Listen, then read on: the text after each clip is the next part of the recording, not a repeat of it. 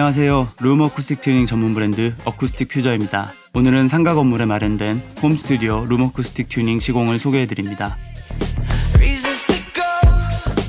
오늘 룸 튜닝을 진행할 공간은 서울 연남동 상가 건물 1층에 위치한 홈 스튜디오로 가로 2.8m, 세로 5.9m, 높이 2.2m이며 전체적으로 직사각형 형태이지만 안쪽으로 기역자 형태의 돌출된 벽면이 있는 공간입니다. 믹싱 작업이 이루어지는 작업 공간으로 사용하는 스피커는 B사의 풋프린트 1 제품입니다. 룸 튜닝 진행 시에 콘솔 데스크는 배치되어 있지 않으며 청취 위치 전면에 스탠드를 사용하여 스피커가 배치되어 있습니다. 별도의 방음 설비나 방음문은 설치되어 있지 않고 기존에 사용하시던 A사의 얇은 흡음재가 배치되어 있습니다. 벽면과 천장은 모두 콘크리트에 페인트로 마감되어 있으며 바닥은 장판으로 마감된 공간입니다. 이 공간은 양 벽면을 오가며 반사되는 중고역의 과도한 에너지로 인해 발생하는 flutter echo로 인한 낮은 명료도와 울림, 코너에서 뭉쳐져 발생하는 저음의 울림으로 인한 booming 현상 등 단단한 콘크리트 벽으로 구성된 공간에서 전형적으로 발생하는 문제점들이 잘 드러나는 공간입니다. 튜닝 전 측정 데이터를 간단히 살펴보면 전 대역에서 5에서 10dB 사이의 낮은 명료도와 심각하게 긴 잔향 시간과 대역 간 무너진 밸런스, 그리고 심한 공진과 엄청나게 느린 감쇄 패턴을 확인할 수 있습니다. 이러한 문제점들을 해결하고 깔끔한 모니터링 스튜디오로 개선하기 위해 룸 어쿠스틱 튜닝을 진행합니다.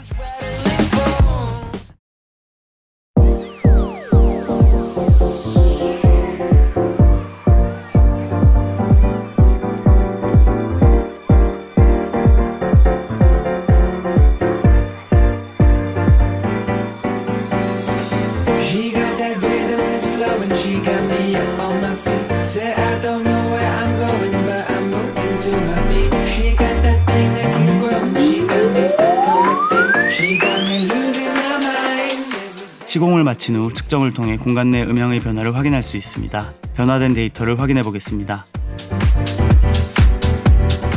첫 번째로 명료도 데이터입니다. 붉은색이 튜닝 전, 파란색이 튜닝 후, 초록색이 EQ 보정 후의 데이터입니다. 튜닝 전 중저역은 5dB 이하, 중고역은 10dB 이하의 낮은 명료도를 보이고 있습니다. 콘크리트 벽면으로 인해 반사음이 전혀 투과되지 않고 공간 내에 길게 남아 직접음의 비중이 상당히 낮다는 것을 알 수 있습니다. 튜닝 후 일부 대역을 제외한 거의 전 구간의 명료도가 20dB 이상으로 높아진 결과를 확인할 수 있습니다. 일부 구간에서 15에서 20dB 사이로 나타나는 부분은 EQ 보정을 통해 개선하여 전 대역의 명료도가 20dB 이상의 준수한 결과로 개선되었으며 대역 간 명료도의 편차도 확연히 줄어든 데이터를 확인할 수 있습니다.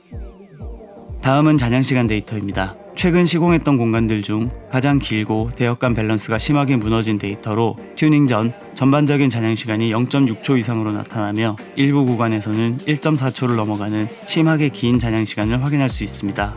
일반적인 모니터링 스튜디오 공간에서 잔향 시간은 0.2에서 0.3초 내외를 목표로 하고 있습니다. 튜닝 후 거의 대부분 대역의 잔향 시간이 0.2초 내외의 준수한 결과로 개선되었습니다. 70Hz 이하 저역에서 살짝 높게 나타나는 잔향 시간은 EQ 보정을 통해 개선하여 전 대역에서 0.2초 내의 짧고 준수한 잔향 시간으로 개선되었습니다. 세 번째로 decay 데이터입니다. 튜닝 전 1kHz 이하 대역에서 심하게 뭉친 공진이 나타나며 1kHz 이상 고역에서도 좁게 뭉쳐진 그래프를 통해 상당히 느린 감쇄가 나타나고 있음을 알 수 있습니다. 처리되지 않은 소리의 에너지가 콘크리트 벽면과 공간 내 코너에서 뭉쳐서 나타나는 결과입니다. 튜닝 후 곳곳에 뭉쳐있던 공진들이 해소되었으며 대역별로 빠르고 고른 감쇄로 개선된 그래프를 확인할 수 있습니다. 추가적인 EQ 보정을 통해 저역대에서 더욱 평탄한 응답을 얻을 수 있었으며 대역별 감쇄 도 더 고르게 개선된 것을 알 수 있습니다. 튜닝 전후 소리가 어떻게 달라지는지 음악을 통해 확인해 보겠습니다. 이어폰이나 헤드폰을 착용하고 들어보시면 더 확연한 차이를 느끼실 수 있습니다.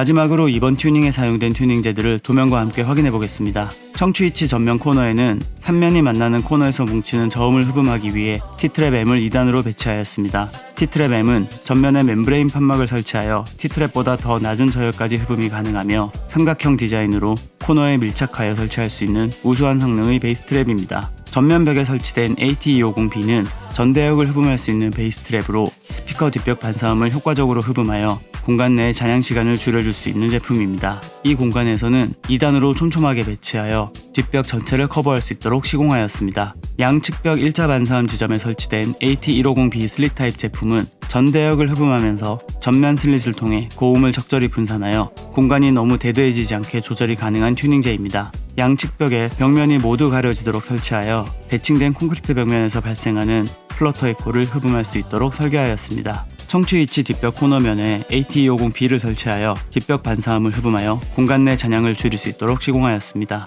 천장 1차 반사음 지점에는 전면 슬릿을 제거하고 아트보드를 부착하여 흡음률을 높인 R트랩을 설치하여 천장 반사음을 처리하였습니다. 기본형 R트랩은 흡음과 분산이 동시에 가능한 튜닝재이지만 이렇게 전면을 아트보드로 변경할 경우 흡음률이 더 높아져 공간 내 잔향 시간을 더욱 타이트하게 조절할 수 있습니다.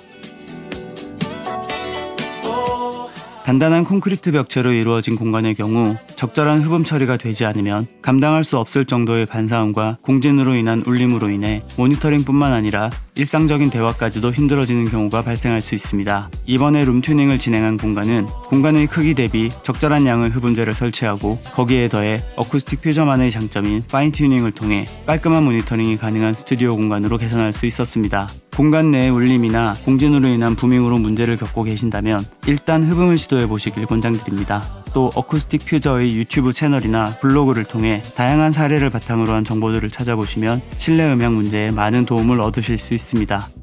영상 시청해주셔서 감사합니다. 다음은 좀 더 본격적인 스튜디오 room acoustic tuning 영상으로 찾아뵙겠습니다. 지금까지 room acoustic tuning 전문 브랜드 어쿠스틱 퓨저였습니다.